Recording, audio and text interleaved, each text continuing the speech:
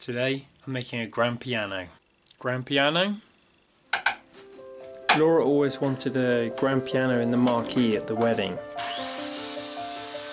And after doing some research we realised it wasn't going to work as the piano never stays in tune because of the humidity in the marquee plus it's going to work out really expensive.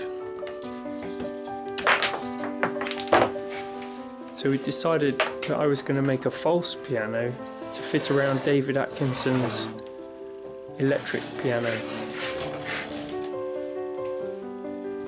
There really wasn't much planning into this project, so I just looked at some images online and then just eyeballed the design really. I had some leftover sheets of ply from work and uh, just general softwood offcuts and just wait for it. It's all just modelled to fit around David's keyboard and all the other dimensions are just eyeballed offline. All fixings in this project are PVA, glue and brad nails. There's a few screws I used to attach some brackets at the end but nothing really that complicated.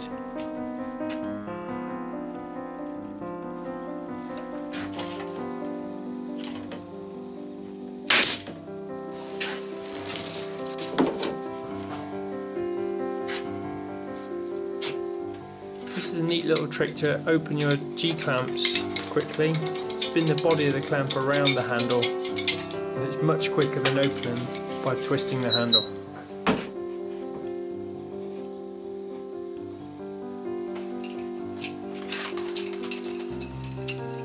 The idea of the design was to have a drape across the majority of the structure of the piano so it just gives the impression of a grand piano in place. Most people during the service were really quite impressed and everyone genuinely thought it was a grand piano. It worked really well.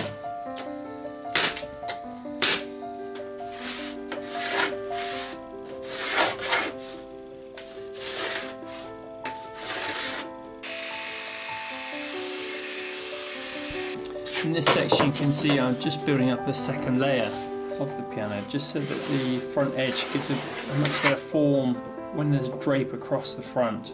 Give that impression of a thick body of material.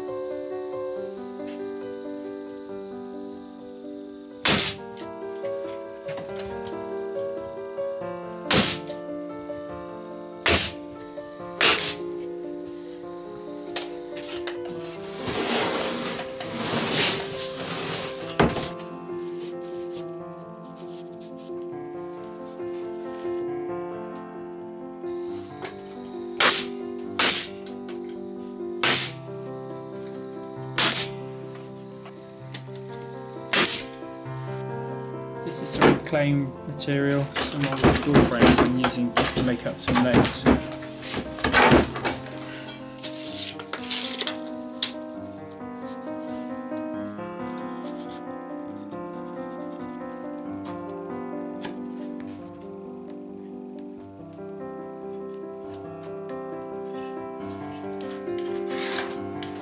Very simple design, straight taper. You just cut these out on the bandsaw, very simple.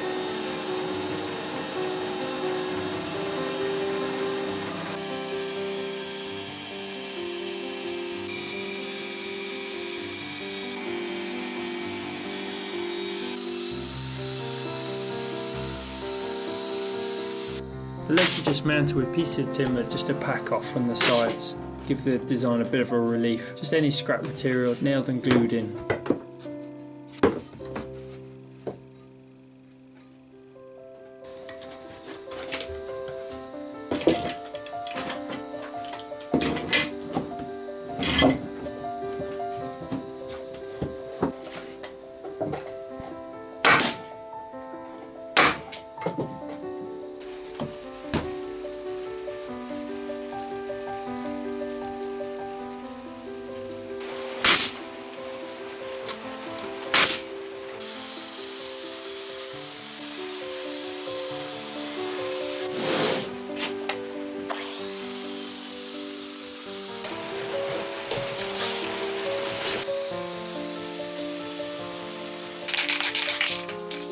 As the piano was only going to be seen on the keyboard end, and the bottom of the legs, that's the only section I painted. So a quick bit spray on, matte black, and this is just normal car touch-up spray paint.